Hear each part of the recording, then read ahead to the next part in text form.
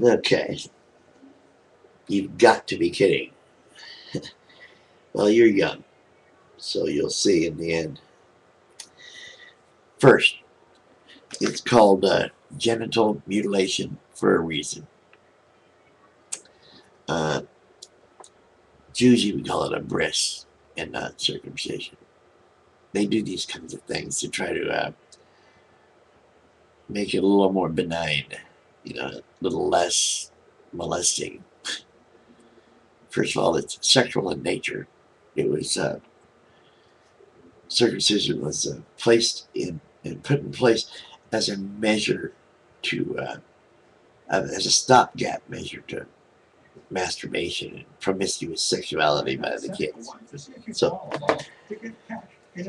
and uh, then there's other the scholars called biblical who say it was handed down by Abraham when he told God I don't know how to prove to you I love you. God says, well, sacrifice your son because we all know that your God loves the sweet smell of bodies burning.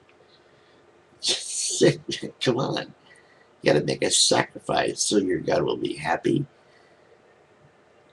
Now, and then he has an angel come down and stay Abraham's hand and say, No, you don't have to do that. I was only kidding. Just slice a piece of his penis and we'll be just fine. what? Yeah, it sounds ridiculous because it freaking is. And it, it takes, you know, kind of like a Stone Age mentality to believe that kind of thing, if you ask me. And, and then you say uh, people that tell the truth, like that uh, Christians and theists are, are delusional. We really believe that. That's not a misquote. It's not a lie. We're not, it's not, it's not destructive criticism. It's constructive criticism. Basically, we, we like these people, Christians and theists, Catholics, whatever, to come out of their religious fog and learn some real science, real geography, real, you know. I mean, today, they're actually debating, these same people that, you know, debating evolution against creation, as if evolution is the whole scientific community, or as if they don't use any science themselves, and we all know they do. Or we have to just hijack words like faith and uh, belief. So it, it all comes, up. they're always gathered together getting consensus for these things.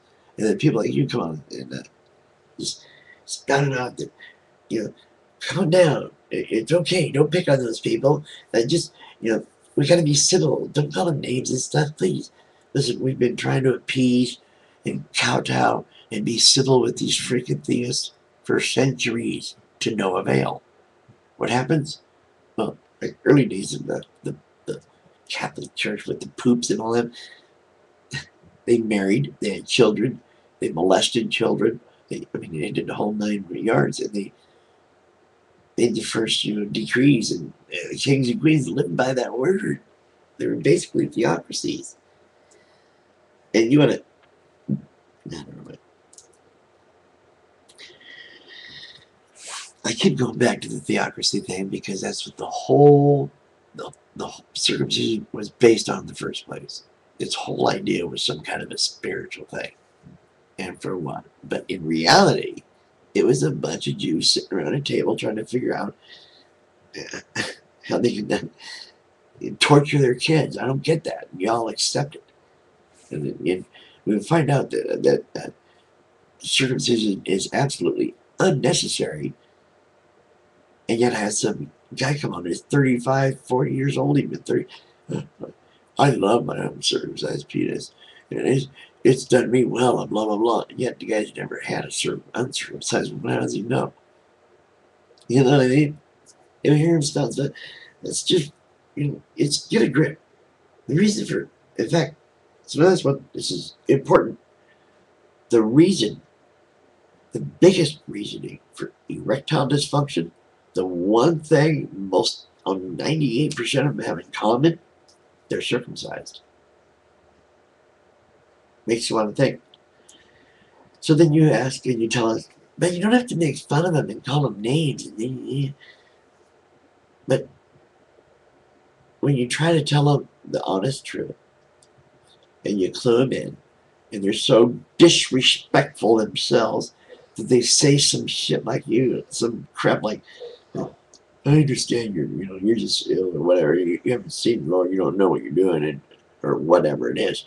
They like insult you with kindness and try to convince you that their God's gonna punish you if you. don't.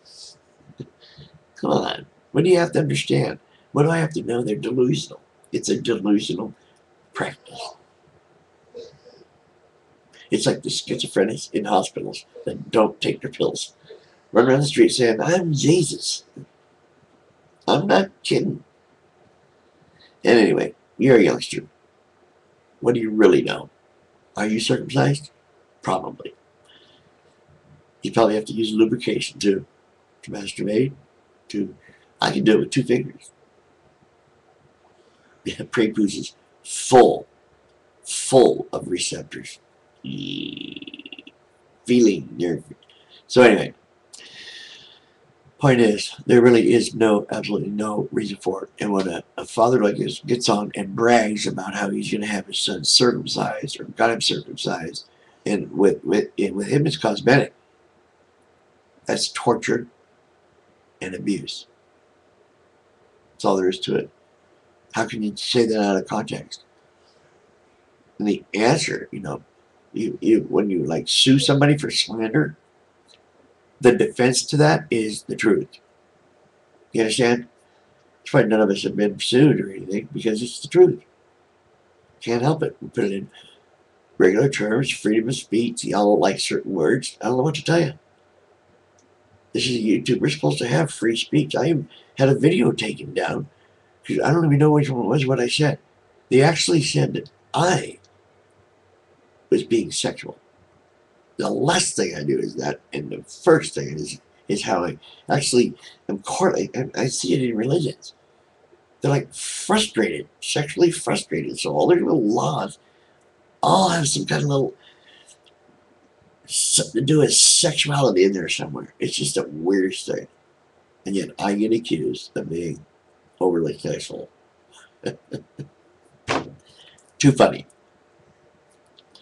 But that's another one of my reports, and that's a little answer to you, Mr. I love circumcision, whatever it is. And, you know, you, go, oh, calm down, maybe you are, maybe you're a whole guy, I don't know. But that was silly. You know, live and live it You can't do that. You know darn good and well these Christians and crap are always trying to insinuate themselves into our lives. Bless you this, bless you that. Nuts. And we're supposed to be the ones to appease, you know, lick their boot and all that. No, not anymore. Done. At 58. I'm not doing it anymore. No more appeasement. No more hiding my language. Nothing but militancy. Oh, of course, I don't have any weapons. I wouldn't kill anybody. It's just crazy to think, even think of something like that. Or even beat them up. Anyway, I'm in a wheelchair.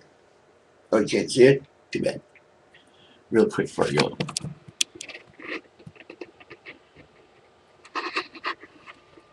See?